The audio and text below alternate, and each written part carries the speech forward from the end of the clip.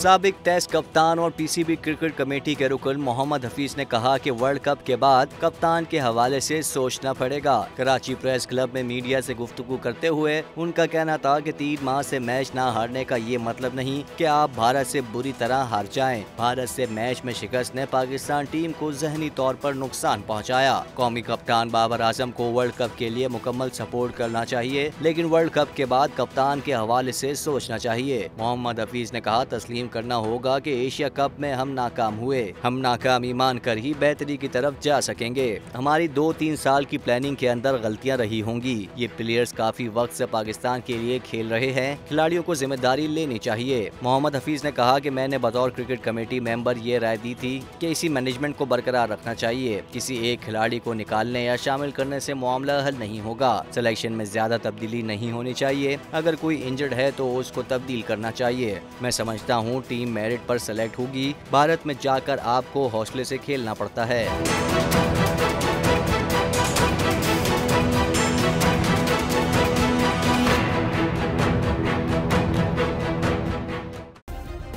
Subscribe करें और bell दबाएँ ताकि कोई खबर रह न जाए।